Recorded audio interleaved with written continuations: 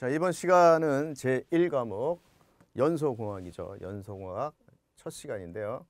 에, 제 1절 연력학에서 핵심 이론 01 연력학의 개요부터 어, 시작을 합니다. 자, 처음에 에, 교재를 잘 보시면서 강의를 들으시면 되겠는데요. 자, 경로 함수하고 상태 함수라는 이제 개념이 나오죠. 자, 함수가 우리 연력학에서는요, 어, 상태 그리고 경로 이렇게 두 가지로 이제 구분을 해요. 그 함수를. 그래서 이게 뭐냐면 아, 그 경로 함수는요, 이렇게 경로에 따라서 값이 바뀌는 겁니다. 그래서 경로 함수는 1과 열, 딱두 가지입니다. 그리고 상태 함수는 경로와 관계없이요. 최종. 그러니까는 여기가 스타트다. A에서 B라는 예, 거로 바뀌었다 하면은 이렇게 해서 A에서 B 이렇게 가잖아요. 그런데 이렇게 갈 수도 있고 A에서 뭐 이렇게 갈 수도 있고 이렇게 갈 수도 있지 않습니까? 그래서 보면은 이렇게 경로에 따라서 값이 달라지는 그것은 어, 경로 함수고요. 그러니까 1과 열입니다. 예, 그 다음에 이 경로를 아무데를 어떤 방법을 거치든지 간에 이 스타트 A, B 요 시작과 끝 예, 여기만 관계하는 것을 상태 함수라고 하죠. 자, 그래서 이거를 어, 가끔 시험 문제 나오기 때문에 이것을 이제 암기를 해주신 게 좋은데요. 어, 아까도 말씀드렸지만은 경로 함수 일과열 이것만 생각하셔도 되겠습니다. 예, 그렇게 되면 나머지는 다 상, 상태 함수 들어가 있지 않습니까? 예, 그렇게 되고요. 예, 그 다음에 이거 비유로 하자면은 비유로 하자면은 어, 이게 이제 그 뭐예요? 주차 타워 하나의 그 예를 들어본 건데 이렇게 에, 엘리베이터식으로 여기 시작을 해서 이렇게 올라가는 높이죠. 그러니까 패스 A는 높이에요. 그러니까 이렇게 start end 그래서 높이에 비할 수 있는 게 에, 바로 상태 함수고요. 경로 함수는 이렇게 경로를 따라서 가는 가고 있지 않습니까? 예. 그래서 이 길 이것이 이제 경로 함수다 이렇게 생각하시면 되고요. 그 다음에 이 일과 열 있잖아요. 뒤에서 이제 우리가 또 학습할 거지만은 일과 열은 상호 어, 교환이 됩니다. 교환이 되는 거예요. 교환할 수 있는 내용. 그러니까 연관이 다 돼 있죠. 어, 그리고 이제 그, 음, 또 하나 사례로 그 연상법으로 이제 예, 암기한다 하면은 우리가 워크 워크 일이잖아요. 우리가 에, 예, 누구나 일을 합니다. 일의 그 내용이 좀 달라서 그렇지. 에, 예, 그 활동해서 사실 일을 한다는 건 이제 가치를 만들어내는 것인데 에, 가치를 만들든 뭐 안 만들든 다 해서 일로 넣어서 얘기를 해보면요. 자 가치로 합시다. 가치 그게 제일 이야기 좋겠네.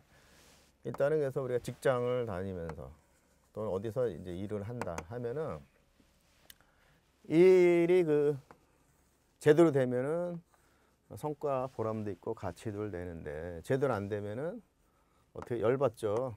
예. 열받는다고요. 그러니까 왔다 갔다 할 수 있다는 얘기죠. 열이 좋은 쪽으로 가야 되는데 그렇죠. 예. 그다음에 또 우리가 이제 어, 일을 하면은 직장인들 그 워라밸 뭐 이런 얘기하죠. 어, 밸런스 어, 일과 어, 자기의 생활의 밸런스. 일의 뭐질 뭐 이렇게 생각하지 않습니까 여러 가지. 그래서 아 그래서 이제 그런 것은 뭐죠? 어 직장 분위기 직장의 내용 어, 어떤 그런 것 따라 다르잖아요. 그렇죠 예. 그렇게 연상해서 외워주시면 되겠어요.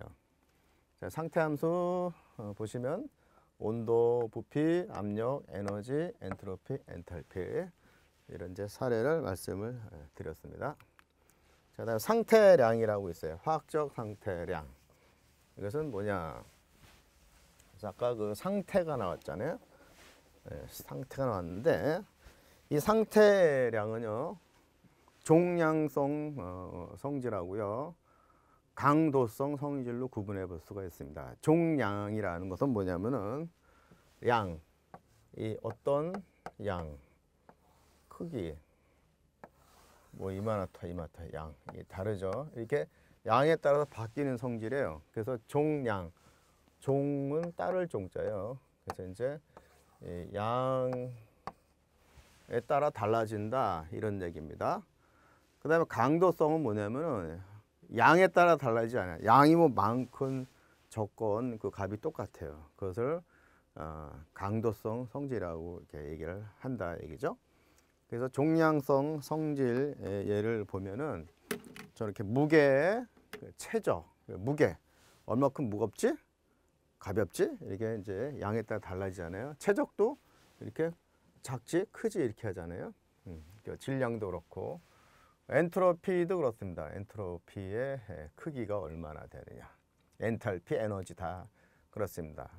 그 다음에 강도성은요. 온도나 압력 있죠. 온도나 에, T, P 이것은 얼마나 많다, 적다, 크다 이렇게 얘기를 하지는 않습니다. 그래서 강도성에 들어가는 거죠. 자, 그 다음에 밀도, 조성, 몰 분율 이런 건 다 강도성입니다. 자 그런데 여기에 보면은 비체적 체적인데 뭔가 스페시픽한 체적 비질량 스페시픽한 질량 이 얘기거든요 자 이제 그것을 어, 일단 개념으로 보시면은 에, 요거 이제 조금 더 설명 연결을 해 드릴게요 그래서 여기 보면은 질량 부피 어, 온도 압력 밀도가 있을 때 있지 않습니까 이것들을 만약에 반으로 줄였다. 자, 반으로 줄였다. 라고 하면은 에, 이건 반으로 줄죠. 그죠? 질량하고 요거 부, 부피, 요 최적은 그런데 이 온도는 같습니다. 온도는 예, 온도는 온도는 같고 압력도 같고 밀도도 반으로 줄여도 같습니다. 자 그런데 여기서 보면은 에, 요거. 자, 이, 이 지금 얘기한 종량 성질 있죠? 질량, 부피 또는 체적이라 그러죠. 그다음에 에너지나 이 내부 에너지 이런 것을 갖다가 specific 예를 들어서 어, 단위 뭐 질량당 단위 그러니까 질량을 킬로그램이라고 봤다 그죠? 단위 킬로그램 당으로 할 때는 이게 강도성으로 되는 거예요. 왜냐하면 여기에 킬로그램에 대한 거기 때문에 딱 어떤 기준이 있기 때문에 specific이 되면은 강도성으로 바뀝니다. 예. 그러니까 비자가 들어가 있는 게 이거 아닐 비자가 아니고요. 예, specific 요거 비교할 때 비자 있죠. 요겁니다. 그래서 영어는 specific을 예, 그 비 이렇게 번역을 한 거죠. 그래서 이렇게 된다. 그래서 비체적 비질량 비 무엇 뭐 이런 것이 다 강도성 성질이다라는 것이죠.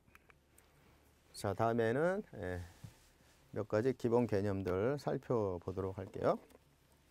맨 처음에 비중인데 기체 비중이라는 게 있어요.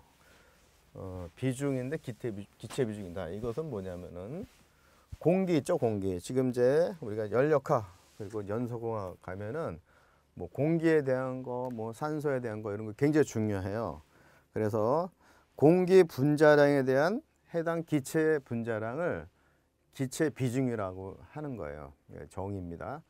그래서 예, 분자량이 있는데 분자량이 있는데 그 해당 기체 분자량이 예, 공기 분자량에 대해서 얼마나 되느냐 이 얘기예요. 공기 분자량. 가령 어, 공, 공기 분자량이 예, 얼마냐면 약 29로 어, 계산을 합니다. 그래가지고 만약 메탄이다 그러면 CH4지 않습니까? 예. 그러면 C가 뭐예요? 12. 그 다음에 H가 1이니까 1 곱하기 4, 6. 4, 6이 아니죠. 아, 도해야 6이 되는 거죠. 4. 그러니까 1 곱하기 4, 6. 16 이렇게 되죠. 그러면 29분의 16. 이제 이걸 계산하면 이제 소수점으로 숫자가 나오겠죠. 그 값이 바로 기체 비중이다. 아, 이러한 얘기입니다. 자, 그 다음에 리터당 밀도를 보겠어요. 리터당 밀도. 자, 리터당 할 때 22.4분의 예, 분자량을 해줍니다. 밑에가 이제 22. 최적이 22.4 리터에 대한 분자량이다 하면은 이것을 리터당 밀도다 이렇게 얘기를 합니다. 그래서 에, 이렇게 해서 분자량 그람 리터당 에, 그 분자량이다 이렇게 얘기를 한다 이거죠. 그 22.3은 뭐냐? 20.4는 에, 뒤에서 이제 언급을 또 드릴, 드릴 텐데 에, 이번에 첫 시간이니까 간단하게 말씀을 드리겠습니다. 1몰 어떤 물질의 1몰에 해당되는 최적이 22.4리터예요. 그러니까 1몰에 대한 최적분의 분자량을 한 것이 바로 리터당 밀도가 된다. 이런 얘기입니다. 자, 다음에 내부 에너지 개념 보겠습니다. 내부 에너지는 분자 운동 상태하고 분자의 그 집합 상태 이거에 따라 달라지는 에너지예요. 그러니까 분자가 어떻게 운동하고 어떻게 예, 그 밀집되어 있는 거, 어떻게 뭐 분포되어 있는 거 이런 상태들에 따라 달라진다 말이죠. 그러한 것이 내부 에너지다. 이렇게 얘기를 합니다. 그 운동 상태를 보면은 분자가 이렇게 예, 병진 운동 한다든지 회전 운동 한다든지 아니면은 진동 분자 내 원자가 진동한다든지 뭐 이런 게 있죠. 그다음에 집합 상태는 이제 그 아까 밀집돼 있다, 어, 붕 떨어져 있다 얘기를 했는데 완전히 밀집이 많이 되어 있는 것이 고체 상태죠. 그 다음에 액체, 그 다음에 기체. 기체로 가면 이제 예, 분자의 집합 상태가 약간 이게 뭐 덴서티 한계 떨어지는 거죠. 예, 그렇다. 자, 그 다음에 이상 기체 상속값이라는 게 있는데요. 예, 이것이 왜 앞에 나와 있느냐. 자, 이상 기체를 이제 R 이렇게 표시를 합니다. 그래서 여기 있는 것이 에, 요것은 그 표준 일반 이상 기체를 이제 그 보여주고 있는데요. 여기에 보면 8.3 혹은 8.314 이러한 수치가 있죠. 예. 8.314 이것은 줄, 몰, K예요. 단위가. 그래서 이것을 만약에 킬로 줄로 하고 킬로 몰로 해도 값이 같죠. 시험 문제 나올 때 킬로 줄 포 킬로 몰 K 이렇게 예, 나오는 경우도 있고요. 아니면은 예, 이렇게 줄, 몰, 예, K, 줄포, 몰 K 이렇게 나오는 경우도 있습니다. 어쨌든 이거의 값은 8.314라는 것이죠. 이것은 그래서 1.987 예. 1.987 예, 칼로리 하면 이렇게 되는 거죠. 예, 칼로리 몰 K다. 킬로몰 어, per 어, 킬로 아니 킬로 칼로리 per 킬로몰 K 해도 이제 같은 값이죠. 그다음에 이것이 82.05 CCATM으로 하면 이렇게 된단 말이에요. 그다음에 예, 분모 쪽은 같고 그다음에 세제곱미터 ATM 하면 0.082.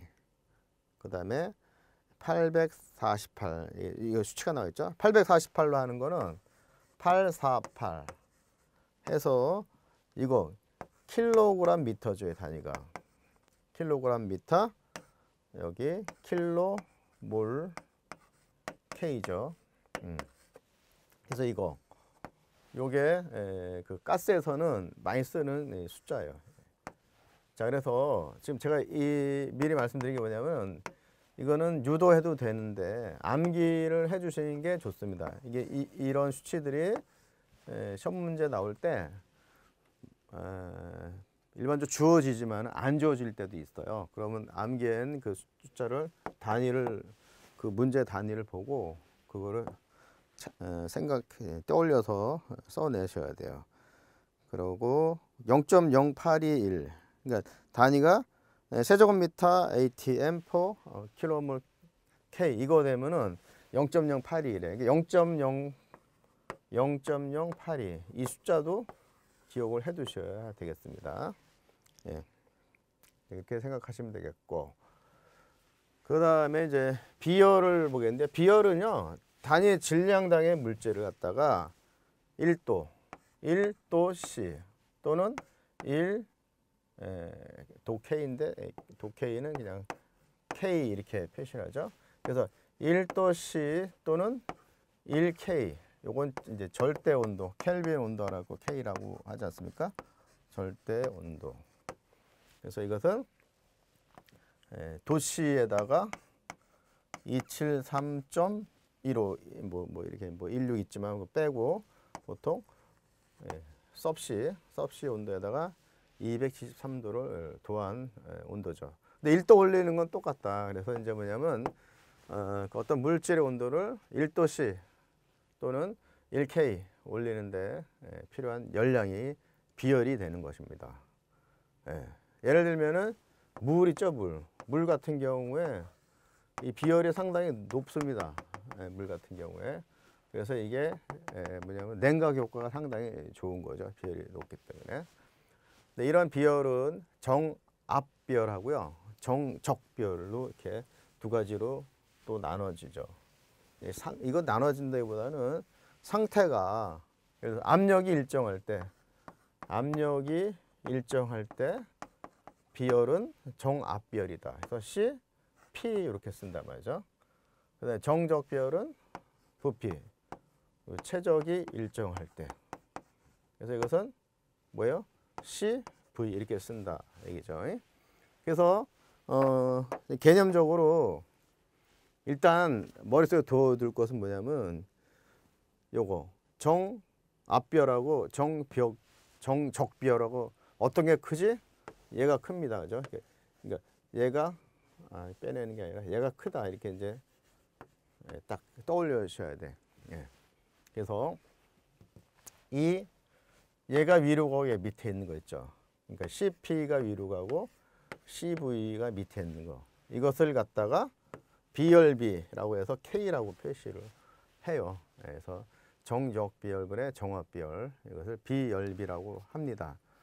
그 다음에 이제 이상기체랑 관련돼서도 뭐냐면 또 그것도 CP가 앞에 와요. 그리고 빼 CV를 빼 이것이 이제 이렇게 기체 상속합이 된다는 것입니다. 예. 그리고 이제 정압비열은요 압력이 에, 일정할 때에 에, 그 유지되는 연력학적 과정에서 비열인데요.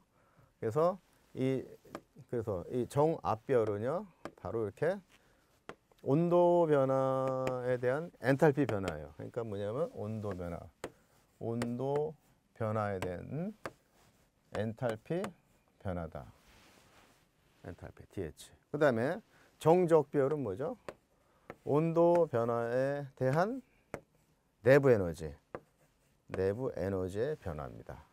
이것이 바로 정압별과 정적별의 정의의 정의. 그래서 이게 DT분의 DH, 엔탈피의 변화, 온도 변화에 대해서 온도 변화분의 엔탈피 변화. 이것은 정압비열이다. 그 다음에 정적은 뭐예요? 내부 에너지. 그래서 온도 변화분의 내부 에너지 변화다. 이런 얘기입니다. 이 정도 해두시면 되겠고요. 다음에 이제 비열비 봤죠. 비열비 네, 말씀을 드렸는데 CV분의 CP라고 이제 말씀드렸잖아요. 근데 이것이 에, 그 원자가 단원자다. 그러니까 원자 한 개를 된거 있죠. 뭐가 있죠? 단원자. 단원자가 예를 들면 뭐 헬륨 같은 경우는 이거 하나로 존재하는 거잖아요. 단원자다. 그 다음에 예, 이원자다. 원자 두개된 거. 뭐 H2 이런 거. H 두 개로 돼 있지 않습니까? 그 다음에 다원자. 이원자 넘는 거. 그러니까 삼원자 이상. 그러니까 삼원자부터를 다원자라고 하죠. 예를 들면 뭐 어, 메탄 그러면 CH4다 그러면 원자가 하나 여기 네 개, 다섯 개가 이제 되지 않습니까? 숫자로 얘기하면 그럴 때마다 이 K 값, 비열비 값이 달라요. 자 그러면은 우리 교재 뭐 나와 있지만은 제가 여쭤보면은 자 단원자의 비열 에, 요거 비열비 K 그다음 이원자의 비열비 다원자의 비열비 어떤 게 가장 크죠? 그렇죠. 예, 이겁니다. 그래서 비열비는 단원자 원자 한 개가 있을 때가 제일 크다. 이거 머릿속에 딱 집어넣어 주셔야 됩니다. 그래서 이 값이 얼마냐? 1.67이에요. 1.67이고 시험 문제 이원자가 잘 나오는데 보통 이제 원자 어, 이 원자에 대해서 문, 문제를 낼 때 해더라도 그냥 비열비가 얼마다 얘기해 줄 때가 많아요. 근데 얘기 안 해 줄 때도 있어요. 그럴 때는 이원자는 아, 1.4, 단원자는 1.67. 예? 이것을 암기해 놓으셔야 돼요. 다원자는 1.33. 그래서 이 숫자 있죠. 이거는 일단 암기해 두시는 게 좋습니다. 이게 이제 간단히 또 문제를 내려고 다음 중 어, 비열비가 가장 어, 큰 것은 그 단원자, 이원자, 뭐 삼원자, 사원자 이렇게 뭐 나올 수도 있어요. 가장 큰 게 뭐죠? 그러면 단원자죠. 네, 우리 1.67을 알고 있으니까 바로 대답을 할 수가 있습니다. 자, 다음에 가스미터에서 계량가 이것은 가스미터에 이제 그 보면 계량계 있다 있다 그러면 계량값이 있다 그러면 이것은 22.4 그렇죠?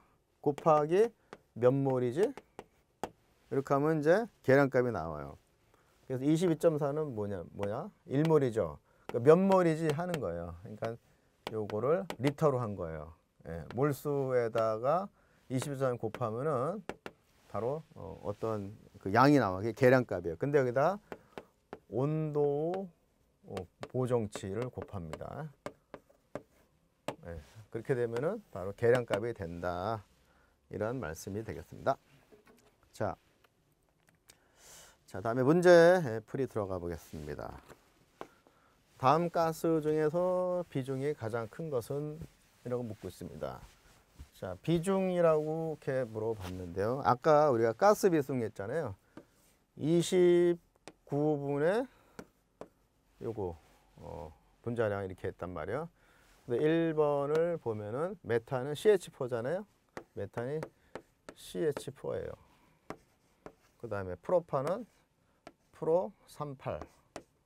네, 지금 이거는 이제 첫 시간이 아니어지겠지만은 음, 이 탄화수소 있죠. 이거를 갖고 있는 거 얘가 뭐다 뭐다 다 외우셔야 돼. 그러니까 일단 프로판 나왔잖아요. 그러면 아 프로는 38이다. 38이라 그러면 뭐 우리가 연상할 수 있는 게 어, 38선도 있고 그렇죠. 어, 간단히. 그다음에 이제 이 어, 우리 영화 같은 데 보면 뭐 이건 이거 자체를 하신 분 별로 없을 것 같은데 뭐 38 광땡이다 뭐래 가지고 뭐 타짜 이런데 아 타짜는 카드로 하나? 하여튼 뭐 해서 해서 나오잖아요. 그래서 아 그래서 뭐냐면 야 프로는 38이다 이렇게 암기하시면 되겠습니다. 그래서 이거 탄화수 암기법은 뒤에 탄화수 쭉 나올 때 에, 연속학종에 가면 이제 말씀을 드릴게요. 그 다음에 세 번째 염소는 Cl2잖아요. 예. 그 다음에 네 번째 이산화탄소는 CO2단 말이죠. 그래서 얘네들을 보면은 각각 분자량이 얼마냐? 12, 1, 4, 16이죠. 어, 그 다음에 얘가 12. 이거는 뭐죠? 어, 12가 아니죠. 어, 12가 3개죠. 그러니까는 12 곱하기 3. 음? 해서 더하기 8 하면 되죠. 계산해보면 어, 3이, 3이는 6, 3이는 3, 30 더하기 8, 44죠. 그 다음에 얘는 71. 35.5 곱하기 2죠. 그 다음에 얘는 12 더하기 16 곱하기 32 그러면 44죠. 예. 그러면 사실상 이 분자량 있잖아요. 분자량 이거 갖고만 해도 돼요. 여기 보면 얘가, 얘가 제일 크잖아요. 그 얘가 제일 비중이 높다 이렇게 대답을 해도 돼요. 음, 근데 이제 이것을 굳이 가스 비중하고 비교를 한다. 아니, 가스 비중이 뭐죠? 공기의 분자량과 비교가 가스 비중이니까 가스 비중으로 구분한다 그러면 29로 나누면 돼요. 그러니까 예를 들면 이걸 왜 얘기를 했냐면 가스 비중의 값으로다가 물어볼 수도 있습니다. 그래서 이제 이렇게 해도 되고 어, 이렇게 해서 여기 이제 해당 가스의 분자량 넣어서 계산하면 되죠. 아니면 저렇게 문제가 나오면 그냥 분자량이 큰 거를 찾으면 예, 그것도 답이 된다 이런 얘기입니다. 자 다음에 예, 두 번째를 보겠습니다. 표준 상태에서 질소 가스의 밀도는 예, 몇 그램 per 리터냐 어, 묻고 있죠. 자 질소 자 질소 이것도 아셔야 돼요. 질소 N 아 4가 아니죠. N 여러분 조시는가 본 겁니다. N2잖아요 질소 그러면 예, 4는 이것 때문에 이제 나오죠. 제가 14 얘기하려고 14 곱하기 2예요. 분자량 그래서 28이에요. 그래서 28g입니다. 그러면 28g이라는 걸 갖다가 뭘로 나눴죠? 22.4. 이 몰에 대한 거죠. 이렇게 나눴다 이거죠. 그래서 22.4분의 28을 어, 합니다. 계산하면 1.25리터가 된다. 이러한 문제가 되겠어요. 자, 다음에는 3번을 보십니다. 이것은 어, 어떤 문제냐? 액체 프로판 C3H8 10kg이 들어있는 용기에 가스 미터가 설치되어 있다. 프로판 가스가 전부 소비되었다.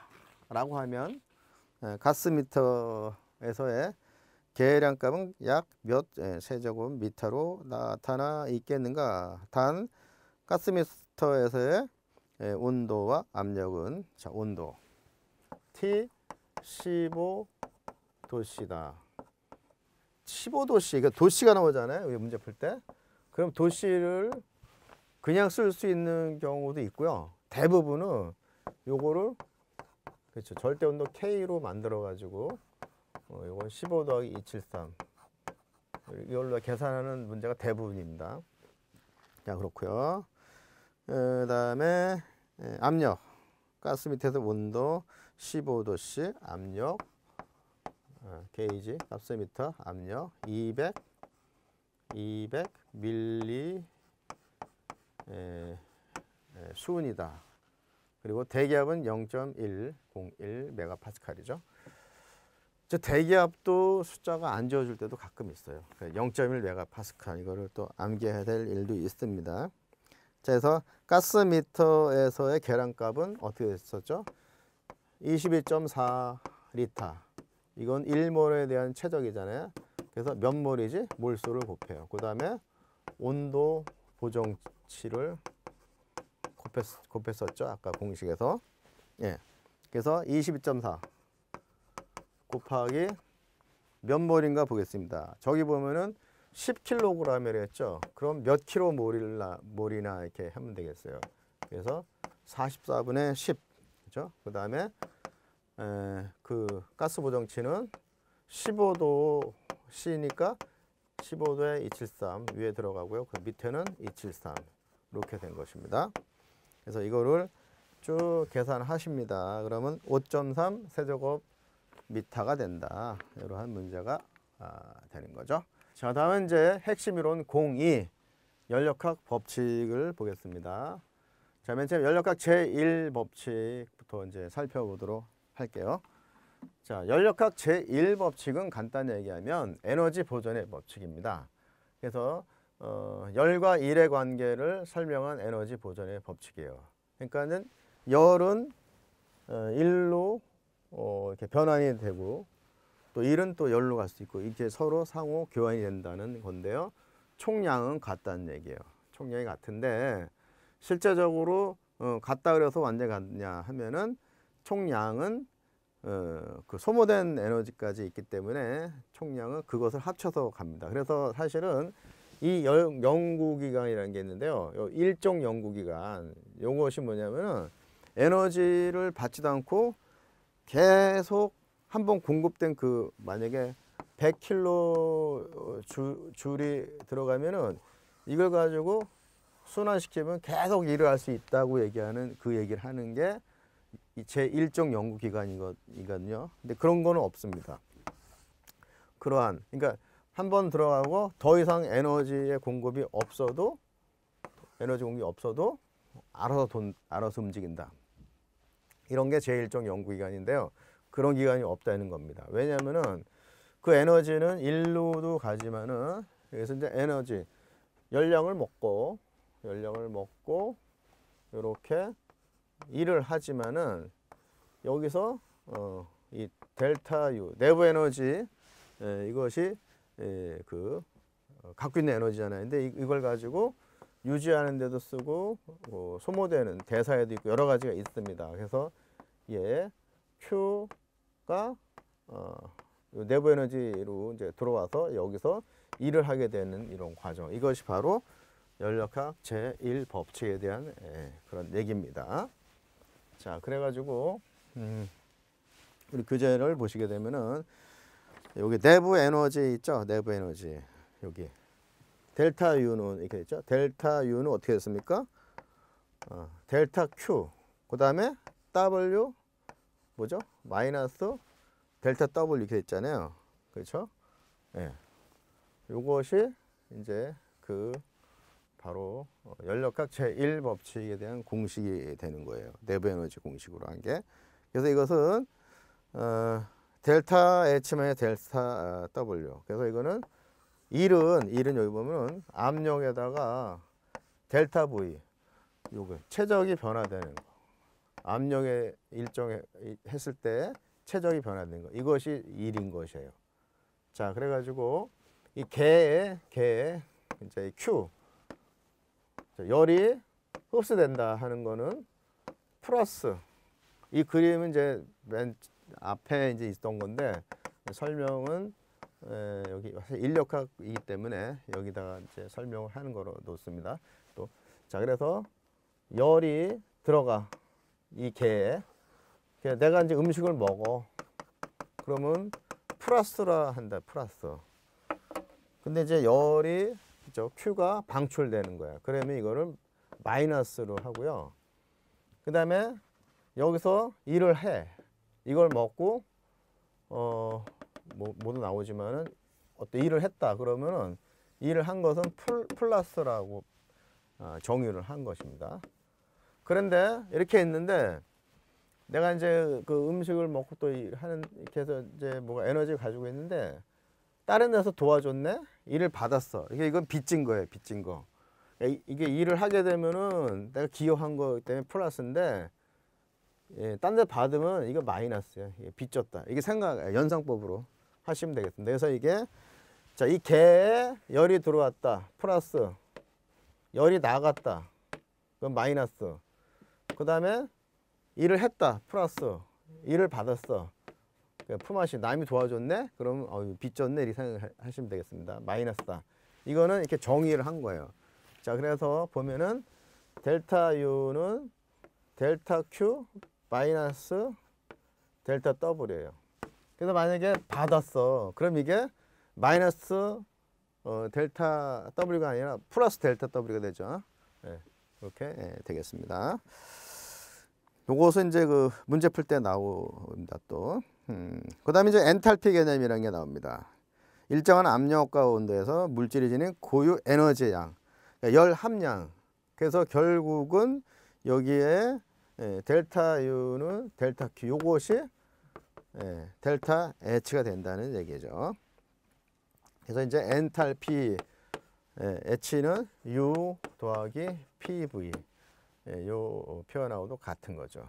예. 이제 알고 계시면 되겠습니다. 그래서 엔탈피를 통해서 물리학적 변화에서 출입하는 열의 양을 구할 수가 있어요. 열과 관계되어 있잖아요. 그리고 화학 평형과 아, 밀접하게 연관되는 연력학의 핵심 함수죠. 그래서 이것은 이제 뒤에 엔트로피하고 더불어, 그러니까 엔트로피는 S로 하는데 이제 요거 이 법칙. 그러니까 엔탈피 하면은 일 법칙에 등장하는 그런 개념이잖아요. 근데 엔트로피는 이 법칙으로 갑니다. 자, 그래서 보면 엔트로피와 더불어 연력학에서 가장 중요한 개념 중에 하나다. 이렇게 보시면 되겠습니다. 자, 다음에 연력학 제2법칙을 보시겠습니다. 자, 이 법칙은 좀 아까도 얘기했지만 엔트로피의 법칙이다. 이렇게 얘기도 한다. 말이죠. 엔트로피의 법칙. 그리고 아까 1법칙은 어떻게 된다 그랬죠? 어, 열을 봐 열이 일류도 하고 일이 또 열류도 가고 이렇게 해서 상호 어, 호환된다 그랬죠. 가역이 된다. 근데 연력학 제2 법칙은요. 비가역의 법칙이에요. 그리고 일법칙 쪽은 상당히 좀 이상적인 그런 좀 경향이 좀 있는 내용이 있어요. 근데 이 법칙은 실제적인 법칙입니다. 엔트로피의 법칙. 엔트로피는 간단히 얘기하면 이제 무질서도라고 생각하면 되겠습니다. 자, 그래서 어, 그리고 자연 현상을 판명해주고 열이동의 방향성을 제시한다. 자, 방향성. 자, 한 겨울에 어떤 어, 그 알래스카에서 백큰 곰이 있는데 거기 같이 눈이 있어요. 눈. 눈이. 눈이 녹았어요. 그 이 눈이 다시 녹은 이 액체가 눈이 될 수 있을까요? 안 되겠죠. 바로 그 그런 현상 이런 것이 바로 연력학 제2 법칙과 아, 관계 있는 것이죠. 열 일동의 그 방향, 어떤 방향을 얘기한다. 방향성의 법칙입니다. 그래서 어, 어떻게 합니까? 제가 좀 이렇게 그렸지만은 예, 열 어, 온도로 얘기하면 열 온도 T1, T2가 있다. 자, T1 얘기하면요. 제가 T1 할 때는 TH 이렇게 표현한 경우도 있는데요. 같은 거예요. 고온을 얘기하고요. T2 얘기하면 이건 저온을 얘기합니다. TL 이렇게 쓰기도 하는데 간단히 T1 고온, T2 저온 이러한 얘기입니다. 그래서 보면은 차가운 물체에 뜨거운 물체를 접촉시키면 뜨거운 물체에서 차가운 물체로 이렇게 열이 전달되지만 반대 가정은 차가운 데서 뜨거운 거로 이거는 안 일어난다. 자발적으로 안 일어난다. 근데 일어나게 할 수 있다 이죠. 뭐 다른 인위적인 게그 예, 들어가면 할 수 있다. 근데 이제 자발적으로는 예, 일어나지 않는다. 이런 얘기입니다. 그러니까 스스로 저온체에서 고온체로 이동할 수 없다는 얘기입니다. 자연계에 아무런 변화도 남기지 않고 어느 여론에 열을 계속해서 일로 바꿀 수가 없다. 아, 계속해서는. 그래서 이것은 제2종 연구기관에 존재하면서 부정하는 건데요. 효율이 100%인 열기관을 제작하는 것이 불가능하다. 이게 효율을 얘기했죠. 그래서 이거 효율 얘기가 아까는 이제 제가 일법칙에서 이해시켜 드리려고 효율을 얘기했는데 사실은 효율로 가면은 예, 이 법칙으로 연결이 된 거예요. 이제 여기서 이렇게 실제적으로 요거 요거는 이제 어, 여러 개 쓰여지는 그런 부분도 얘기했던 거고요. 예, 에너지가 들어갔는데 예, 뭐 보존도 하고 뭐 일도 하고 하는데 이런 부분이 있기 때문에 그렇죠? 예, 다100% 일로 가지 않는다 이런 얘기죠. 근데 이것은 예, 바로 아, 효율 그렇죠? 그래서 효율 100%인 열기관 제작하니 불가능하다 이런 얘기예요. 자, 그다음 엔트로피 법칙. 자연물질이 변형돼서 달이 원래 상태로 환해질 수 없는 현상이다. 아까 아, 그눈 얘기를 했죠. 네, 그래서 이것은 엔트로피라는 것은 S로 표시하는데 그러니까 쉽게 얘기해서 랜덤리스 무질서도다. 이렇게 생각하시면 되겠습니다. 비가역 공정에서에 의한 열 에너지 소산, 에너지의 사용으로 결국 사용 가능한 에너지가 손실되는 결과를 초래하는 것입니다. 예, 다시 가용할 수 있는 상태로 환원시킬 수 없는 무용의 상태로 전환된 예, 질량 에너지의 총량이다. 그래서 무질서로 들어간다 말이죠. 엔트로피는. 그래서 엔트로피 델타 S는 자 아까 보면 열량을 먹었다. 자 온도에 대한 열량이다. 이렇게 표시를 합니다. 이게 엔트로피 에, 예, 그 정의예요. 엔트로피 예, 값이 되는 것입니다. 이런 엔트로피는 어, 뭐죠? 상태함수죠. 예. 엔트로피는 분자들의 무질소의 척도가 되고 그래서 고립계에서 엔트로피는 항상 증가하여 증가하거나 일정하게 보존이 되죠. 그러니까 우주의 모든 총 현상은 어떻게 돼요? 총 엔트로피가 증가하는 어, 그러한 방향으로 어, 진행이 됩니다. 자유팽창, 종류가 다른 가스의 혼합, 액체 내 분자의 확산 이런 과정 이것은 비가역 과정이죠. 때문에 이럴 때는 엔트로피가 증가를 한다는 얘기입니다. 자, 비가역 단열 변화에서 엔트로피 변화는 델타 S는 뭐다? 0보다 크다는 얘기죠. 그래서 열의 이동 중 자연계에서 엔트로피 변화. 그래서 자, 델타 S1이 있고 여기 변환 델타 S2가 있다. 그러면 도한 것은 0보다 크다. 이런 거 같은 얘기죠.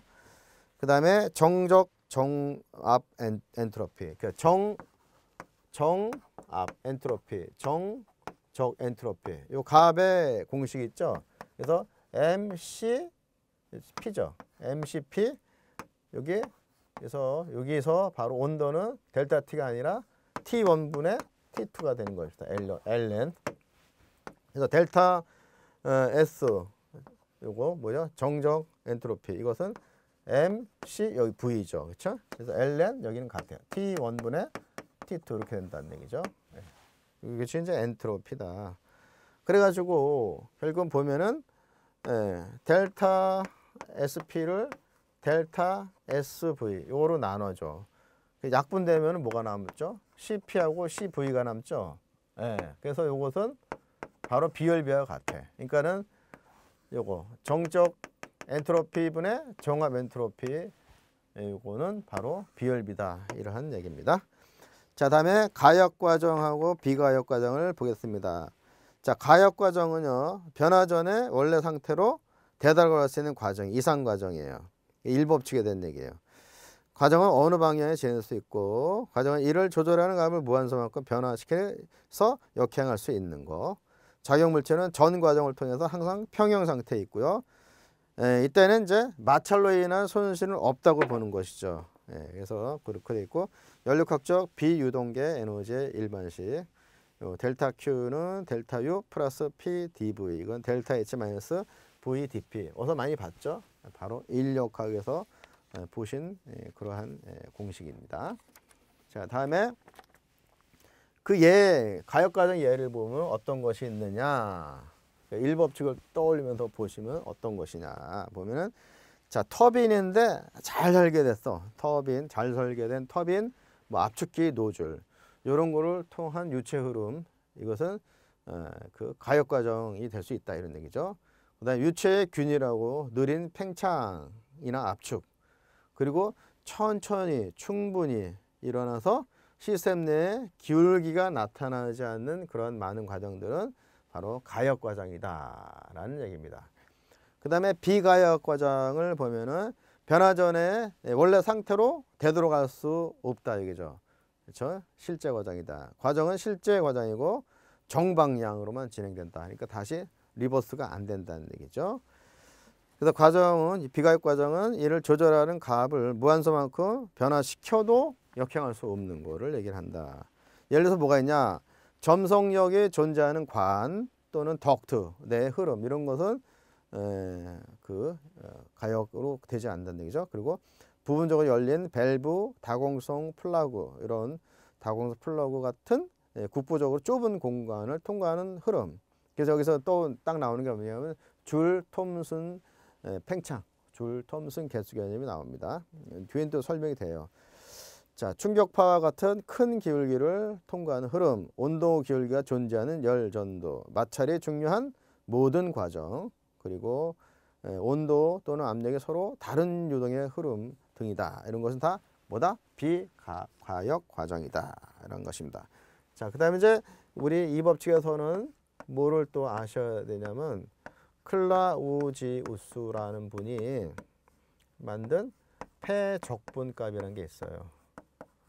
폐적분 값이 있는데요. 폐적분 에, 자 T 분의 델타 Q다. 자, 이 개념입니다. 그래서 이것은 일단 같건 같던지 0보다 작다. 이것이 0과 같던지 0보다 작다. 그렇죠? 요것이 항상 성립한다는 얘기입니다. 요거 이제 유도하는 것도 있지만 이제 복잡하니까 아, 결과만 두고 봅시다. 왜냐하면 이제 외워주시는 게 좋아요. 이게 문제가 나오는데 이게 항상 성립한다. 근데 여기서 아까 얘기한 가역일 때 있죠. 그 다음에 비가역일 때 이게 나눠진단 말이죠. 그래서 가역일 때는 얘가 0이라는 거예요. 비가역일 때는 0보다 작다 이런 얘기입니다. 결론적으로 얘기하면은 요거는 이제 예, 외워두시는 게 좋겠습니다. 왜 그런 게 이제 이야기보다는 그 설명도 길기 때문에 그냥 아 이렇구나 아시는 게 좋습니다. 이렇게 물어봐요. 예, 문제 나오면은 예, 문제가 나온다면 여기까지가 이제 이 법칙이고요. 자, 3법칙하고 어, 0법칙인데 이거 간단하게 말씀드리겠습니다. 3법칙은요. 엔트로피 절대값의 정의. 그러니까 뭐냐면 에, 절대 영도 그러니까 에, 절대 영도는 실제로 도달할 수 없다 이런 얘기예요. 절대 영도. 0 K 안 된다 이런 얘기예요. 어떤 게 온도를 절대 온도 0도까지 내릴 수 없다. 순수한 결정의 엔트로피는 절대 영도에서 에, 0이 된다. 그러니까 뭐냐면 순수한, 진짜 퍼펙트하다는 거죠. 퍼펙트 하면은 절대 영도 K 도달할 수 있습니다. 근데 실제로는 퍼펙트하지가 않다는 거거든요. 네, 그 얘기입니다. 그러니까 퍼펙트 하면 영도 할수 있어. 이 얘기나 아, 실- 사실 실제로 영도 안 가. 영도 K 안 가. 이건 같은 말입니다. 그것이 연력학 제3법칙이다. 그래서 3종 연구기간 부정의 법칙은 절대 영도 0도에 도달하는 기간 이거 없다. 이런 얘기입니다. 일을 하지 않으면서 운동을 계속하는 기간 존재하지 에, 않는다는 얘기죠. 자, 그 다음에 연력학 영법칙을 보겠습니다. 여- 연력학 영법칙은요, 열평형의 법칙이에요. 그래서 A하고 B하고 C가 있다. 그러면은 어, 이렇게 해서 A하고 C하고 여기가 열평이 이루어지고 여기도 열평이 이루어지면 그럼 결국은 얘네, 얘네도 예, 그렇다 이런 얘기야. 그래서 봐- 보세요. 물체 A와 B가 물체 A와 B가 각각 물체 B 물체 C와 열평이 이뤘다면 A와 B가 각각 얘하고 열평이 이루고 B도 C 얘하고 열평이 이뤘다. 예? 하면은 물체 요거 A, B도 열평을 이룬다 이런 얘기죠. 음. 제3의 물체와 열평이 있는 두 물체는 그들 상호간에도 열평이 있으며 물체 온도 서로 같다. 두 개가 다른 한 개와 열평이 이루면 그두 개는 서로 열평하다. 뭐 같은 얘기죠. 자, 문제 몇 개를 보겠습니다. 자, 1번입니다. 다음 중 연력학 제2법칙에 대한 설명이 아닌 것은 1번 열은 스스로 저온에서 고온체로 이동할 수 없다. 맞죠? 연력학 제2법칙의 설명. 두 번째, 효율이 100%인 열기관 제작 불가능하다. 그래서 제2종 연구기관 제작 불가능하다. 이 법칙 맞죠? 세 번째, 자연계에 아무런 변화도 남기지 않고 어떤 열원의 열을 계속해서 일을 바꿀 수 없다. 맞습니다. 네 번째를 봤더니 에너지 한 형태인 열과 일은 본질 서로 같고 같고 어, 열은 일로 일은 에, 열로 서로 전환 가능하다. 이때 열과 일 사이의 전환은 일정한 비례각이 성립한다. 이건 뭐죠? 예, 맞습니다. 일법칙에 대한 설명이 되겠습니다. 4번 정답이고요. 자, 다음에 두 번째 문제를 봅니다. 어떤 기체가 어떤 기체가 있는데 에, 열을 Q를 168 킬로줄 흡수했어요.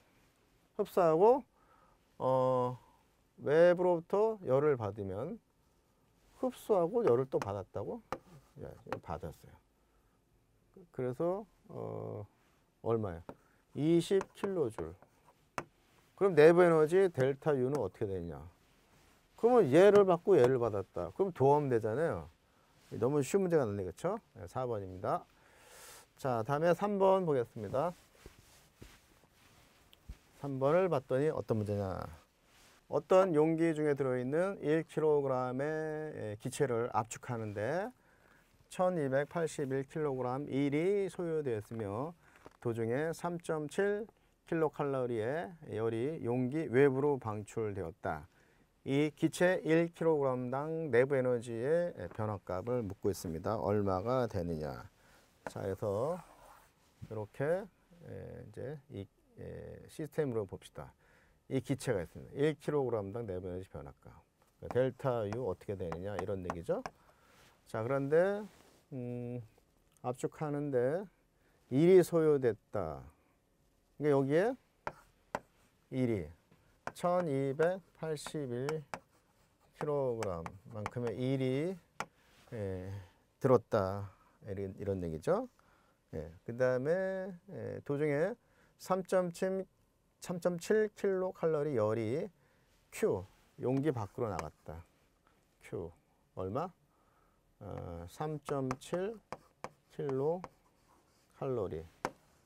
어, 이게 나갔다. 이 W가 이제 들어왔다 이거죠. 그래서 우리 델타 U 어, 그 식을 알고 있죠. 델타 U는 델타 Q 마이너스 델타 W잖아요. 자, 델타 U, 델타 Q, Q를 보겠습니다. 나갔잖아요. 그러니까 이건 마이너스죠. 그래서 마이너스 3.7이다. 그래서 이제 빼기를 요거 일을 해준 걸로 봤더니 해준 게는 받았네. 그러면 1281 환산하면은 4, 2, 7분의 1281이죠. 그래서 요거 요로 계산하면 된다. 그래서 마이너스 3.7 요것을 계산을 하시게 되면은 3이 나오죠. 그러니까 마이너스 마이너스 그러니까 뭐죠? 플러스 3이죠. 플러스 3. 그러니까 마이너스 3.7 플러스 3 하면은 마이너스 0.7이 되죠. 그래서 이두 번째 거 마이너스 0.7 이렇게 계산이 되겠습니다. 자 이번 강의 여기까지입니다. 네, 수고하셨습니다.